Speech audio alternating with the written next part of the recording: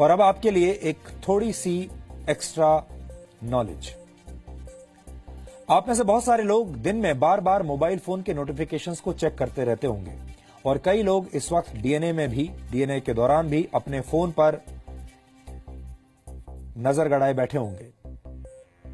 आज हमारे पास आपकी इसी आदत से जुड़े कुछ रोचक आंकड़े हैं। अमेरिका की एक डेटा एनालिसिस कंपनी की एक नई रिपोर्ट आई है और इस रिपोर्ट के मुताबिक भारत के लोग अपना ज़्यादातर समय मोबाइल फ़ोन पर ही बिता रहे हैं।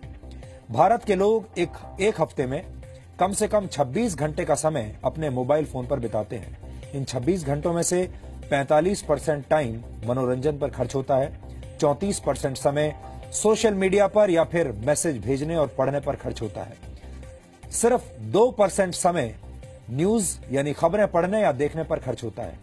चार परसेंट समय खरीदारी पर और दो प्रतिशत समय फाइनेंस से जुड़े काम करने में खर्च होता है। इसके अलावा बचा हुआ तेरह प्रतिशत समय अन्य कामों पर खर्च होता है।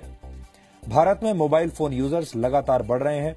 इनमें से बहत्तर प्रतिशत यूज़र्स की उम्र 32 वर्ष से कम है। यानी भारत के युवा मोबाइल फ़ोन से चिपके रहते हैं। यहाँ हम भारत की युवा पीढ़ी से यही कहना चाहते हैं कि जीवन में आगे बढ़ने के लिए मोबाइल फ़ोन और टेक्नोलॉजी का इस्तेमाल ज़रूर कीजिए।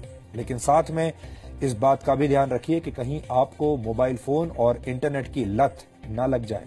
याद रखिए, किसी भी चीज़ की अति अच्छी नहीं होती। समय बहुत अनमोल है। ये समय एक बार हाथ से अगर निकल गया तो लौट कर दोबारा नहीं आएगा।